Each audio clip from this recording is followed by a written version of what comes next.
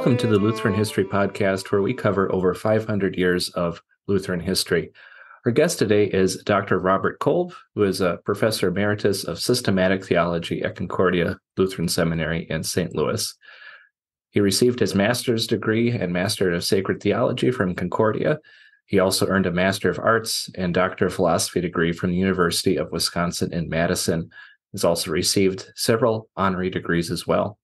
Dr. Kolb retired in 2009 after 16 years of distinguished service as a missions professor of systematic theology at Concordia Lutheran Seminary. Before joining the seminary, he had served as director of the Center for Reformation Research and in various teaching roles in religion and history departments at Concordia College, St. Paul, Minnesota.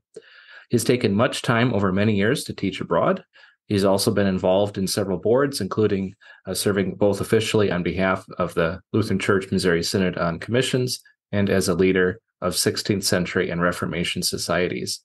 There's certainly not enough time to list everything he has written, but I included a selection today. He is the author of several books, including uh, Christian Faith, a Lutheran Exposition, The Genius of Luther's Theology, a Wittenberg Way of Thinking for the Contemporary Church, uh, studies of the interpretation of Holy Scripture in the 16th and 17th century, Lutheran ecclesiastical culture 1550 to 1675, bound choice election and Wittenberg theological method from Martin Luther to the Formula of Concord, sources and context of the Book of Concord, Concord, which he co-edited with James Nestingen, and teaching God's children his teaching, a guide to study to the study of Luther's catechism, and the list can go on and on. Perhaps where his name is most seen on Lutheran bookshelves today is on the Book of Concord itself. He was one of the directors and translators for this most used English edition today. He's also written more than 100 articles and collections of essays. One of the most recent articles is titled Wittenberg Uses of Law and Gospel, which was just published in the fall edition of the 2023 Lutheran Quarterly. And that is the focus for today's podcast episode. So, with no more uh, details than that, I'd like to welcome you, Dr. Kolb. Thank you so much for joining us today on the Lutheran History Podcast. Thank you very much, Ben. It's great to be with you. And I should also add, I've had uh, Dr. Kolb uh, in two classes now in my reduced residency program. So I've had the pleasure uh, of learning uh, from him in person. So I'm happy to have this chance to talk some more because I don't have any more classes with you in my in my schedule. So this is a good little catch up for me as well. All right. So, our the first thing I want to ask you about today, uh, because you have done so much uh, work, I, you know, it seems like your life has been dedicated to uh, historical theology. Is just this question: What can you tell us about the value and importance of historical theology? We're um, we're all concerned about our memories. Uh, as I get older, that seems to be an increasing concern. um, but our whole personalities are really formed on the basis of what we remember from our childhood, from our youth, um, and from our experience throughout the years. And so I think it's important for the church also to have a sense of memory of, of where the Holy Spirit has been working in the past and what uh, the work of the Holy Spirit has uh, done in sustaining the church and building the church and spreading the church for, uh, for now 2,000 years. And so th- there's no situation in history, I think, that's exactly like another situation, but there are there are similarities in the way that uh, the world works and the way the church works. And so uh, we can learn a lot from uh, reflecting on uh, both the grace of God as we see it in in um, human history in general and in the history of the church in particular. Um, and we can also um, be inspired uh, to uh, trust that the Holy Spirit's at work, even when we don't understand always what He's doing with the church, and uh, and and get get some tips on on how to uh, address problems that, even though they may not be exactly the same, uh, have parallels in the history of the church. All right, thank you for that that insight. Now, specifically onto our topic today, what led you to research and write on the use of law and gospel in Wittenberg?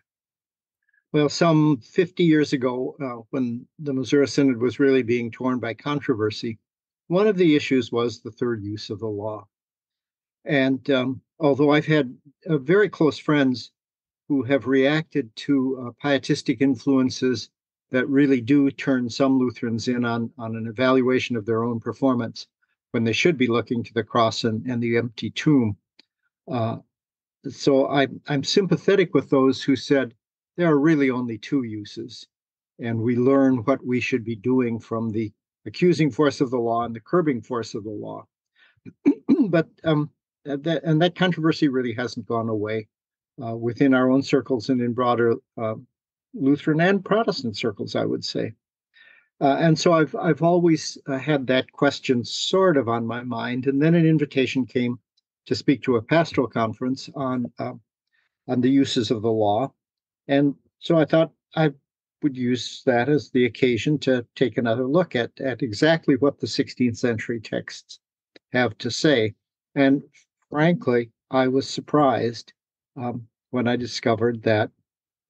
Uh, well, I posed the question: uh, How many uses of the law did Luther really have? And um, found that the answer is actually none. He doesn't use the term. Uh, th- that's not literally true. I think I found two instances, and there probably are a few more.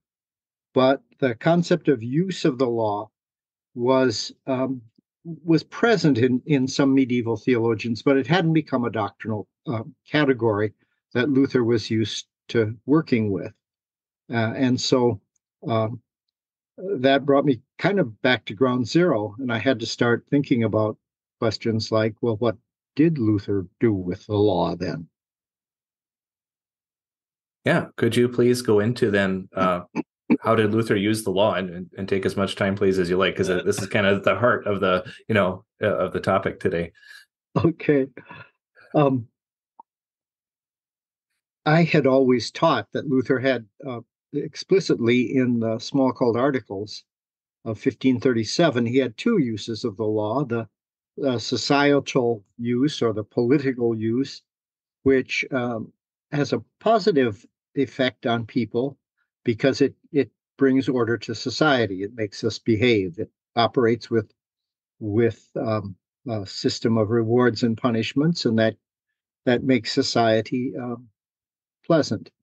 Luther also says in the Smalcald Articles that um, what actually happens is sometimes um, the this first use of the law will um, will arouse resistance, what I like to call the the terrible twos of the Christian life, where uh, people hear God's law and say, "I'm going to assert my own identity and and and not follow the law, do the opposite, perhaps." Uh, and another negative effect is that uh, what is given to us for uh, ordering our lives on this earth uh, is sometimes taken uh, to heaven and presented to God as a reason why He should like us. And so that that tendency for the law also to make us works righteous um, was one of the things that Luther noted as as as a, a part of the the work that the first use of the law does. And then the second use, the theological use, uh, is that which which nails us as sinners. Um, Philip Melanchthon said the law is always accusing us. Uh, it's always pointing out that we have failed to be uh, the people that uh, God created us to be uh, in Eden. And so, uh, so those two uses Luther specifically talks about, but he doesn't call them uses he talks about their um, function and about their uh, power. And that got me to thinking um, what's the difference? and um, so when I was translating the, the Formula of Concord for the 2000 translation of the Book of Concord, uh, the traditional title for Article 6 had been on the third use of the law. That was Melanchthon's language, and that's that's the issue that needed to be addressed because of controversies in the in the 1560s uh, and 70s.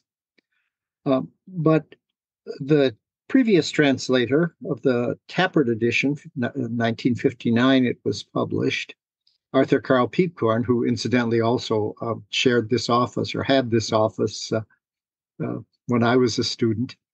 but uh, uh, Dr. Piepkorn had translated the the third function of the law. Well, I wanted to look brilliant, and so I thought, well, I'll find my own word, and thought about the third impact of the law. Although I, I really liked function and was about ready to go with that. But if you open the the translation, you'll find it says third use of the law. Why did I go back to the third use of the law? Because that's what the German says, and a good translation tries to follow what, hmm. what the original text says. Um, and as I was thinking about that in the light of this Smalcald articles uh, talk about function and power, uh, it occurred to me that you and I may use the law um, in its third use to instruct its instructional use. We may just want to inform our uh, other people, other Christians, what a God pleasing life looks like. Um, my example is that you're giving the best uh, instruction ever given in your community on, on the wonderful gift of, of sexuality and, and how uh, God wants us to, to use this gift properly to a, a confirmation class and and it's just such a positive presentation. And uh, one of the one of the pupils students uh, runs from the room crying and and and uh, obviously struck by what you thought was good instruction, but it has turned into either accusation or pointing out that that person has been abused and uh, and parent or or relative or someone has uh, has broken God's law. Uh, and then I realized that the, the function in my mind when the law is given to me in whatever use um, is going to make an impact on the way I live. It may cause me to run away. It may cause me to, um, as as Luther says in the Smalcald articles, rebel against God more strongly, uh, or it may have the impact of making me more works righteous. Uh, and so the the brunt of the article that you mentioned is is my trying to work out this distinction of our use as witnesses to God's law from its function in the minds of our hearers and then the impact it makes on on their lives. Right. So you got to divide divide it basically, and, and how is it what's what's the goal of the word itself versus how it's received is that yeah what yeah. you're getting at yeah and we're we're not always sensitive enough to listen to how it's functioning and what and noticing what the impacts are. Yeah. Um yeah yeah we'll go go off this pastoral tangent. That's always hard when you're preaching to a room of more than one person in it right? Yes. you can't even well even one person's hard enough. How is this going to be received right is right. is yeah. the issue right? And that's you know that's where a lot of this conversation goes into. Um but i'm curious though could you get just share some of the details of like how did luther speak? How did he talk about any of those things? You know it's the intention of the law. What did god why does god have the law? Is it uh, a natural thing or is it just kind of an accidental thing? Or you know all that all that stuff i'd be very interested in hearing more on. Well luther believed very much that uh, god had had, uh, as creator, had designed human life in a specific way. And so that that design is reflected in the law. And so the uh, hymn that we sing by um, Matthias Loy, a 19th century Lutheran theologian, uh, the law of God is always good, uh, reflects exactly what Luther thought. It's our sinful reaction to it that that is bad, that uh, earns us the accusation and condemnation of the law. So um, the law was not given as a means of salvation. Adam and Eve didn't have to uh, serve a, a, period of probation in Eden before uh, before they got the title human.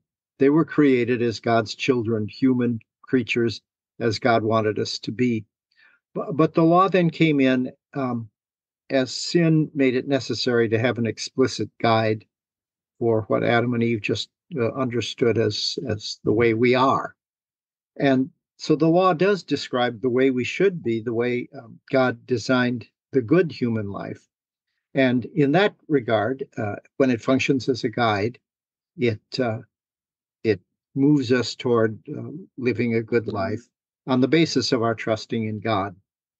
Um, the the problem is, of course, that we have turned away from our God and don't we don't want to let uh, His word be the point of orientation. Luther thought that the original sin in Eden was doubt of the word of God, uh, defiance of our Creator, and uh, and Luther thought then that that original sin greets us every day um, when we awake and um, are not fearing, loving, and trusting in God above all things.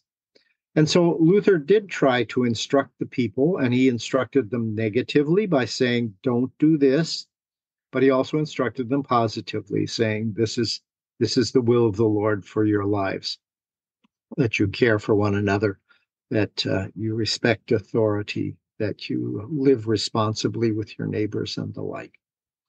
Um, but Luther also saw that uh, the the stronger your faith is, the more you're going to want to trust God that you're you're His righteous child and and obey Him. And as you turn to the law for instruction in how to uh, live the good life that He designed for us, you're going to recognize that that law is still accusing you, uh, it's still crushing you, um, because in the past you haven't, and in the present you're not sure you really want to um, serve Him in in in complete and full obedience. Yeah, and I had you know if I had this conversation with with people, um, you know, lay people who had seemed to have the impression that well, really the only law, the really only commandment in Eden was the fruit law. You know, don't don't eat this fruit, don't don't touch that. Um, mm-hmm.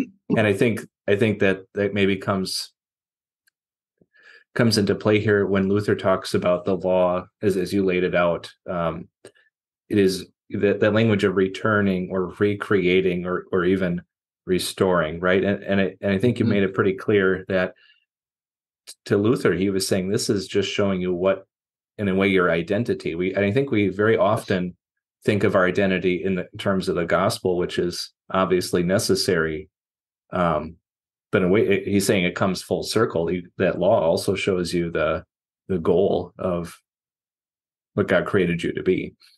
Yeah, I think the the Germans didn't have a word for identity exactly, and as it's not the exact equivalent of our concept of identity today. Excuse me, but um, but I think the word righteousness comes fairly close. If a person is righteous, we are what we're supposed to be, what God designed us to be. Um, what God's righteousness is his being, uh, what he really is, and uh, who he really is. Uh, and so uh, Luther uh, talked about um, a twofold identity or a twofold righteousness, or two kinds of righteousness is the way that Luther's works translates it. Um, and the, the, two kinds of righteousness are, are he, he uses uh, various terms, but but basically we can use the terms active and passive. And our core identity, sort of our DNA, the the identity we receive from our parents that can't be changed, uh, is our passive righteousness, and that comes to us when God forgives our sins and promises to be our God and, and promises that we will be His children in, in baptism or whatever form of the word of the gospel we we encounter it. Um, and, and, so that core identity um, does come from the gospel, but that core identity means that um, that's not one half of our life and, and, active righteousness the other half.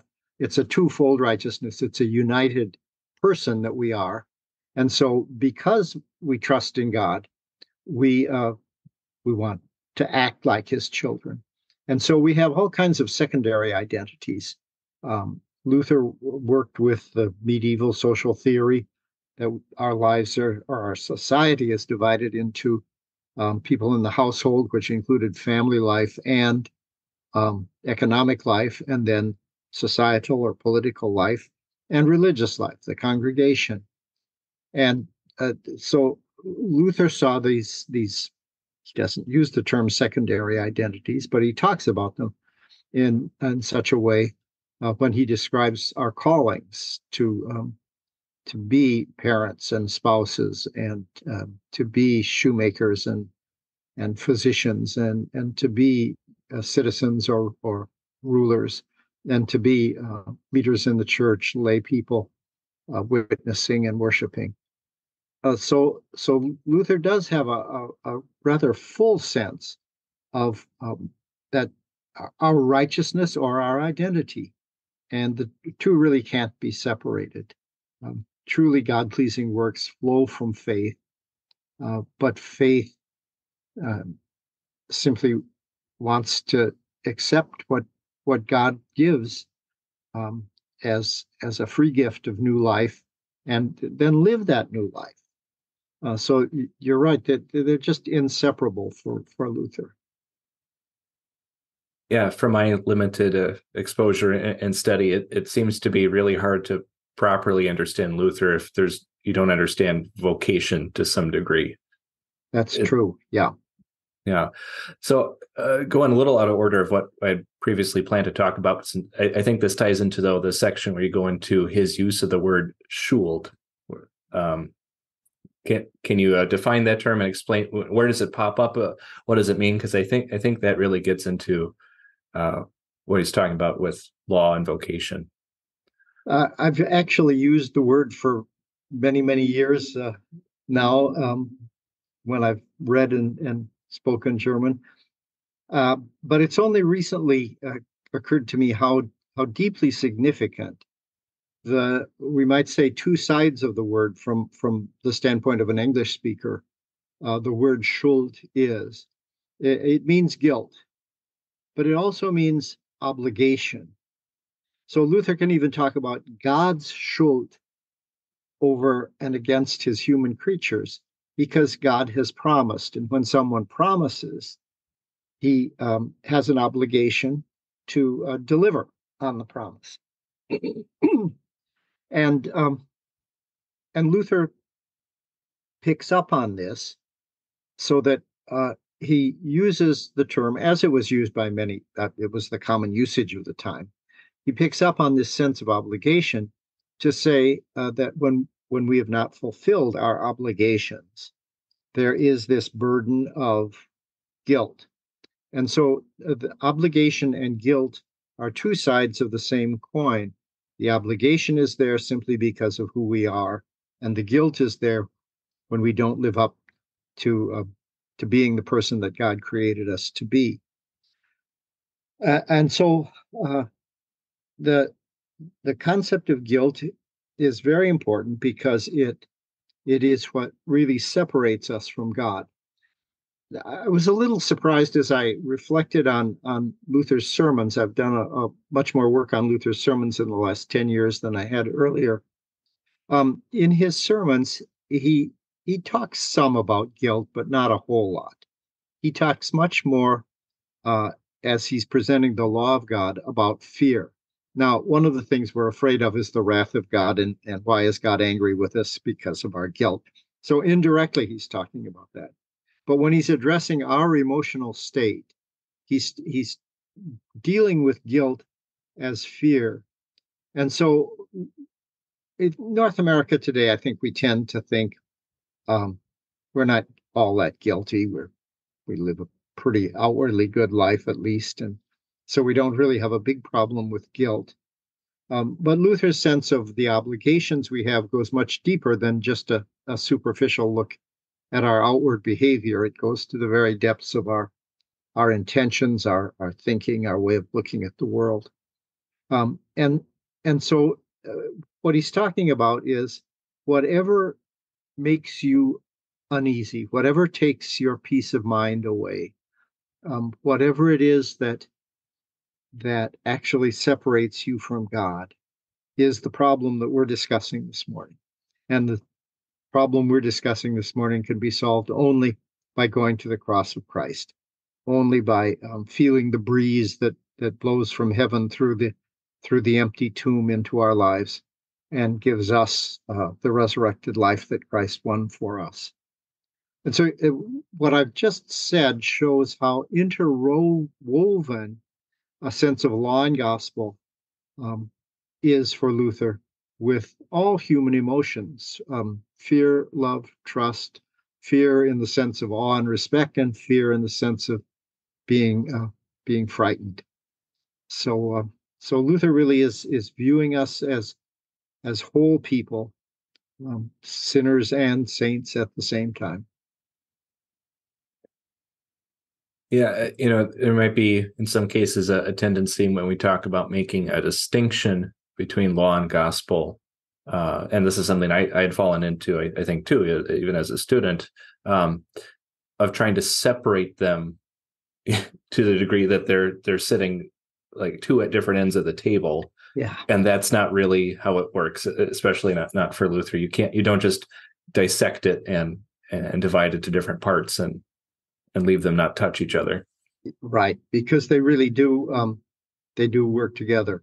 Uh, the the law tells us what the problem is. The gospel gives us the solution, and then in the solution, um, we as we live out that solution of being God's people again, uh, we're still we're still bothered by sinful ignorance and and sinful wills, and uh, so we need that instruction uh, that that will turn to accusation, uh, but also we we need to be told, uh, especially in in our kind of society where there is where there are an absence of moral guidance in the public square.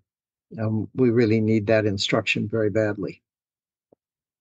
Yeah, I, I think you had mentioned it in our uh, Luther's justification class. It was a good illustration. I think we're not living in the leave it to beaver world anymore, right? yes. Uh, where you yeah. can just have the public uh, consciousness or, or taboos or whatever kind of serve that that guide or instruction or whatever you know use you want to label you want to put on it. No one else is doing that, and, and maybe no one else was really meant to be doing that, uh, but we got used to it that way. Well, I think it an orderly society is in the interests of, of everyone. Right. Um, and I think we don't really fully realize what we're doing to ourselves um, by not um, by not uh, enforcing some some standards for decent uh, societal behavior. I mean the the threats that you hear from politicians against one another um, are just just unthinkable uh, in in the Leave It to Beaver, Dwight D. Eisenhower as president uh, era in which I grew up.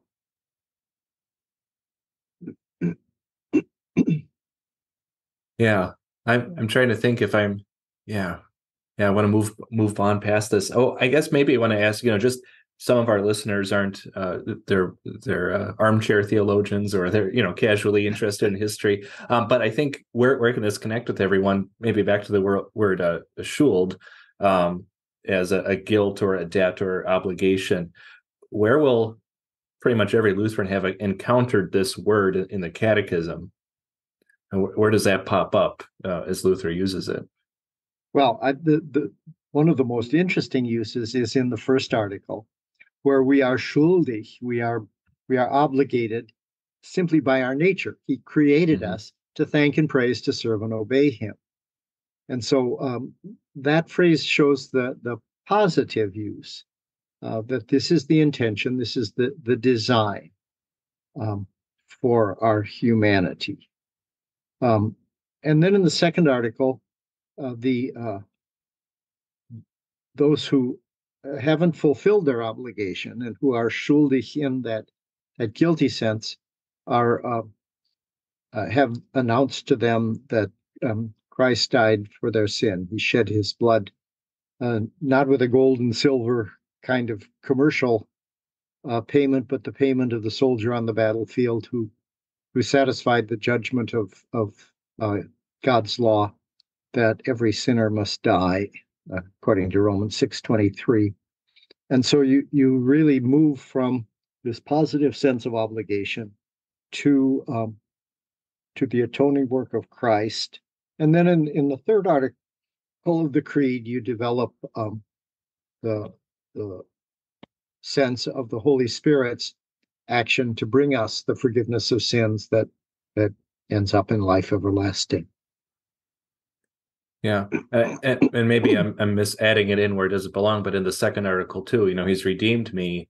Yeah. Um, all that, so now I ought to to serve and obey him. Oh, yes, yeah, and, mm-hmm. and so kind of like a, a feudal a feudal sense, right? And I think you know Luther was yeah. much closer to the that concept of the idea of aton- well, not atonement, but redemption. Uh, I was a slave to this, but now I I. he owns me. I belong to him. There's just kind of a this is just the way it is. It's natural, a natural obligation, and I think that's hard to get across to most people in America that you have a natural obligation. You don't have a right to be free from something, but you're naturally bound or tied yes. to something. Yeah, which is is true freedom. But I think that's something we miss also in the the translation of the second article. Um, he has purchased and won me, but the word um, that we translate purchased um, means purchased, but it it has a much fuller sense in to simply take possession of. And he he takes possession of us um, so that I may be his own and live under him in his kingdom and serve him in everlasting righteousness, innocence, and blessedness. So um, th- th- that all does tie together beautifully in that way. Mm-hmm. All right. Well, let's get back to the the overarching question. Well, I guess the subtitle for this could be: Did Luther have a third use of the law? Which is kind of the the itching question, right? People wanted. Um, and, and yeah. you and you said already. Well, he doesn't really use the word use. Um, yeah. Anything else that you want to say uh, about how for Luther what the law is and what it does before we get into uh, Melanchthon and, and others? Yeah. Well, uh, I think we could say the a rose by any other name is still a rose, and the law by any other name is still a law. Uh, the gospel talks about what God does for us, and the law talks about what He expects uh, us to do as as human creatures. And so, I think what Luther would say is, um, as Christians, when we're sharing God's law with other people, whether it be parents with their children or neighbors in conversation or, or pastors from the pulpit. Um, we are we're talking about human action and uh, what God expects us to be doing. And we're, we're not talking about the Holy Spirit's empowering us yet. We're simply talking about um, my reaction to what I have done or what I plan to do. And uh, in that, then, uh, we see this obligation of God uh, and we will react to it. The function that it um, uh, that it performs in us and arouses some impact or another. That that function is simply to describe what God expects and help us compare our own lives to it. And in some cases, we will say, that clarifies what I'm supposed to do. I'm so thankful. Um, in other instances, we will have to admit that we failed in our obligation uh, as God's creatures, and we will recognize our guilt, or we will recognize that um, maybe to our shame, maybe simply um, in a terrifying way, uh, the abuse of other people, the, the, disobedience of other people against God's commands, have have cheapened and and uh, damaged our sense of the fullness of life God can give. And in the midst of, of of that kind of abuse or that kind of victimization, we also flee um, to the gospel to have our, our worth um, reaffirmed by the love of God and Jesus Christ. Uh, and so uh, the law, those who speak the law need to be somewhat clear on what they intend to do. That will just help us present the law more clearly. But we also have to recognize that uh, human life is bigger than just our intentions, and that uh, other people may hear it, um, uh, do a different thing than we intended to the to their own consciousness, and then what it does to their consciousness will determine how they act in in varying ways. And uh, so, the I think Luther would say uh, there are you use I think Luther would say, without numbering them, uh, you use the law to get the kids in line.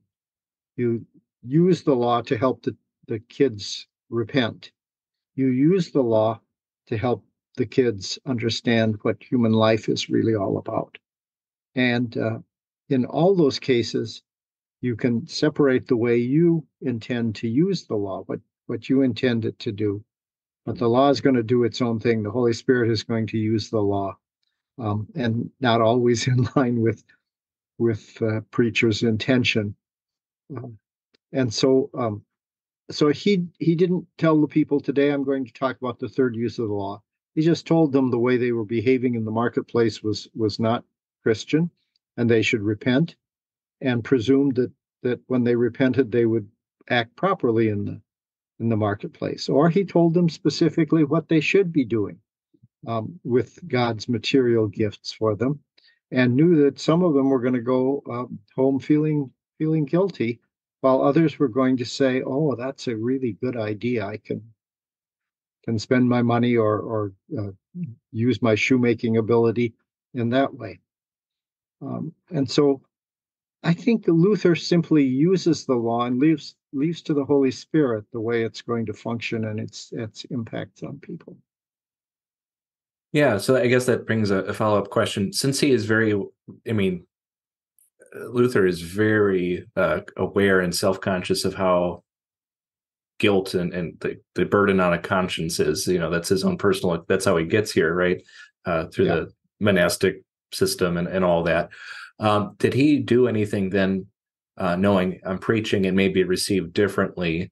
Uh, did he do anything to, I don't use too basic of a word, but to, to, to fix it or to guard human consciences in case he maybe had a certain intention or he thought this was very clear how I even framed it, and yet it might possibly go the other way? I, I, I I would say that as I've uh, read his sermons, particularly, but also his lectures to his students, he did know why he was using it, uh, how he was using it, the point he wanted to make in this particular instance. Um, but I think he also realized that um, it was going to hit different people in different ways, and uh, so he's he's always returning to the gospel. Some of his sermons are heavily law and little gospel. Some are are heavily gospel with not very much uh, instruction or a call to repentance. But he's always got uh, over a period of time when he's preaching, say, a weekly series on John or Matthew, or um, sometimes he he didn't always preach every Sunday uh, because there were other people to preach at the town church in Wittenberg. But uh, he he's he's aware that the Holy Spirit's going to be using the law in different ways, and so he's he's doing what he thinks he's got to do at this point. Thank you for that clarification. So uh, we'll get into now if Luther was not using the word use, um, yet how come Lutherans are so used to using the word use? Where you know, and this is why you titled your article uh, Wittenberg or, or Wittenberg theology um, or does it pop up? And how is how do the people who come up with the term use? How do they mean it to be employed? Well, one of the first real theological crises within the Lutheran movement or the Wittenberg circle of, of friends and, and reformers uh, was the challenge of uh, one of the brightest and best of Luther's students, um, a man named Johann Agricola, in the late 1520s, mid, mid to late 1520s and then into the 1530s. And Agricola got the message uh, the use of the law in the Middle Ages was bad. And he came up with a solution Christians don't need to hear the law anymore. Now, he didn't mean by that they can do anything they want. He had a very strong sense of, of new obedience, but he called it the gospel. In other words, he he led to, his his views led to confusion um, about the distinction of law and gospel. And Luther saw that as the heart of the message of God for his people, and and the confusion of law and gospel was precisely what had had driven him to despair. And so uh, he and, and Philip Melanchthon reacted uh, pretty strongly. And Melanchthon in 1528 in his visitation articles said um, we have to call people to repentance. We have to do that. We have to tell them what what is right and what is wrong, because so much of the of the instruction on the Christian life in the Middle Ages had uh, focused on doing the right religious things, going on pilgrimages, uh, giving alms, and so forth, instead of um, uh, instead of on being a good parent and spouse, being a good shoemaker or, or um, physician, whatever, and um, and so uh, Agricola I think he probably wasn't as smart as as Luther and Melanchthon thought he was, um, and probably wasn't ill-willed, although some personal rivalries may have played into the controversy.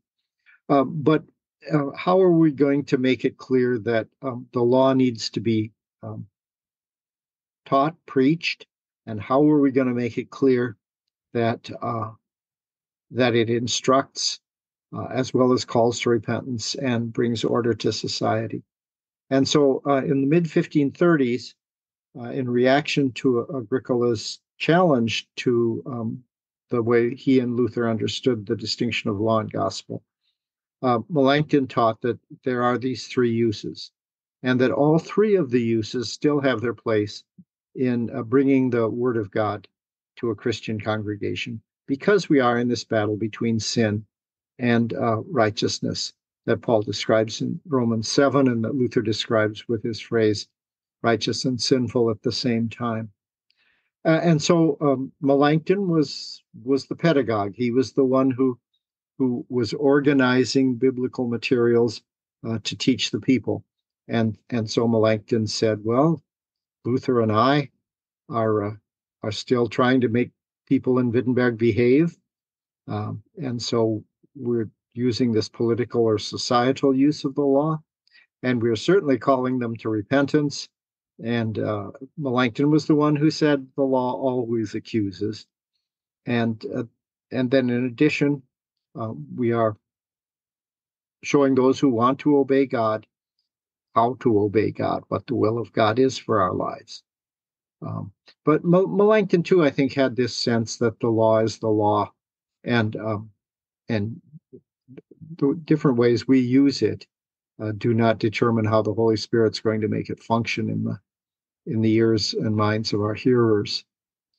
Um, so, uh, Luther and Melanchthon are often um, played off against each other, but I don't think in their actual presentation of uh, law or of law and gospel um, there's much difference at all.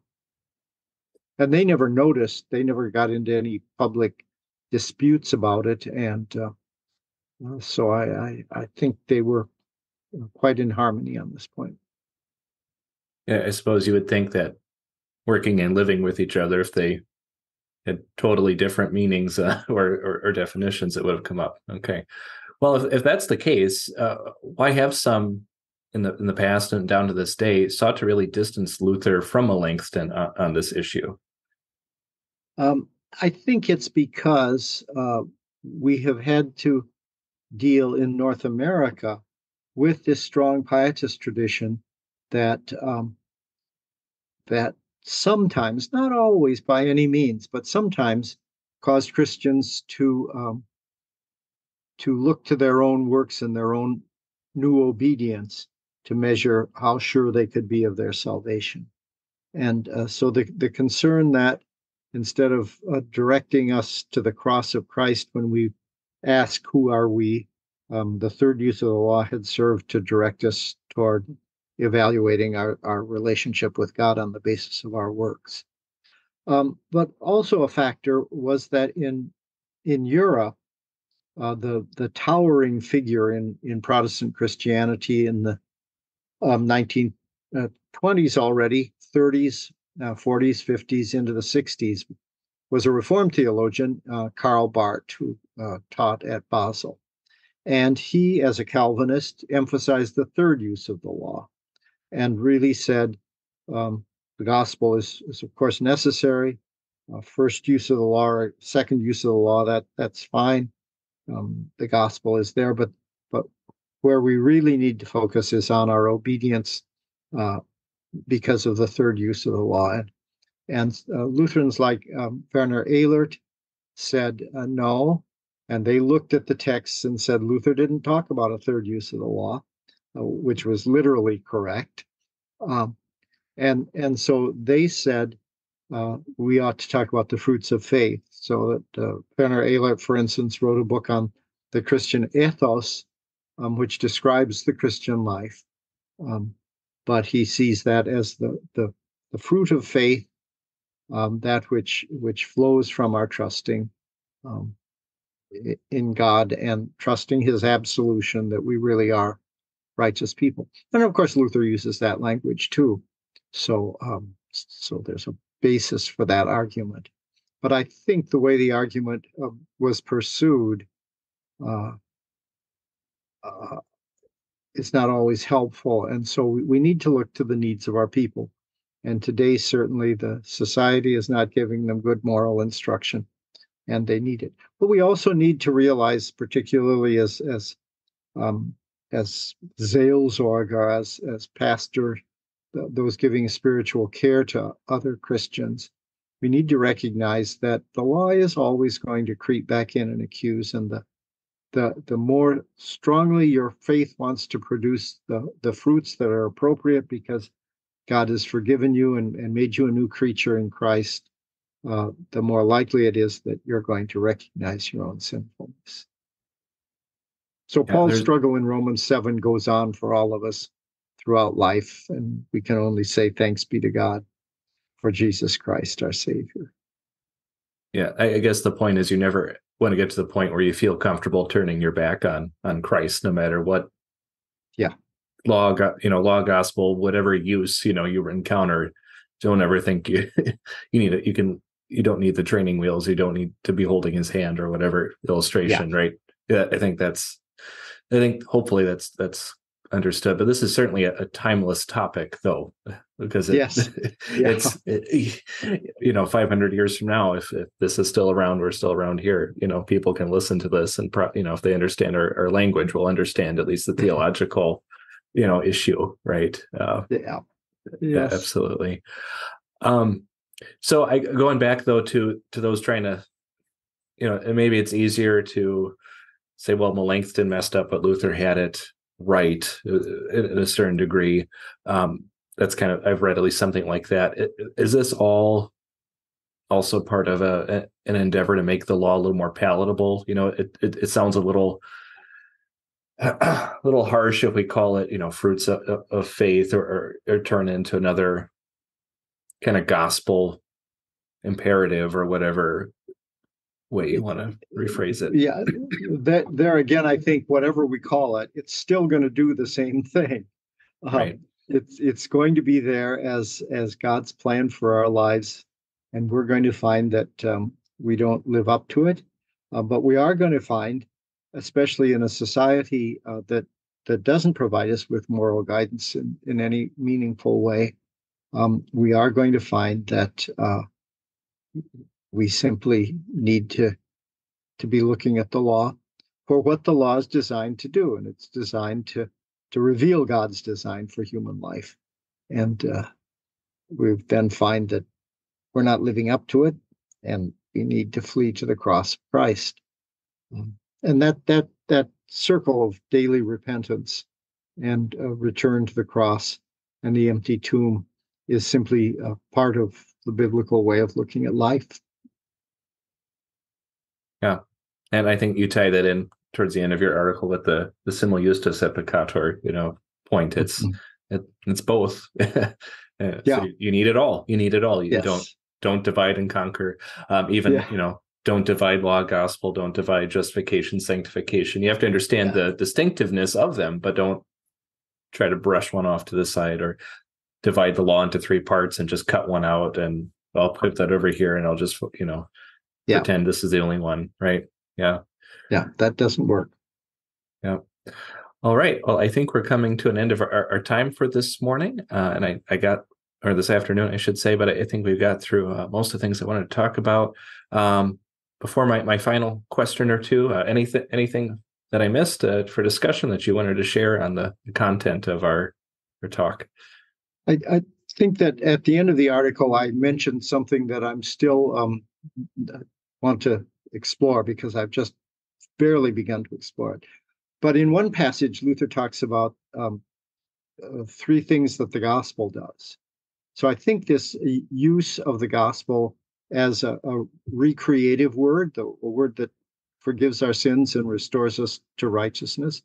And then, secondly, we use it to console those who have been restored to righteousness in the midst of all the struggles of this earth. And then, thirdly, it's it's the Holy Spirit's means of empowering our Christian life. I think there might be something there to think through use and function and impact, uh, but I haven't read Luther texts with that in mind sufficiently to uh, to kind of develop the argument that I had in in this Lutheran Quarterly article, at least on on the uses, functions, and impacts of the law. All right, so that, those are some areas of further study and uh, and discussion for the future. Hey, I'm only 82 years old. Yeah. I, I haven't had all that much time to learn. Yeah.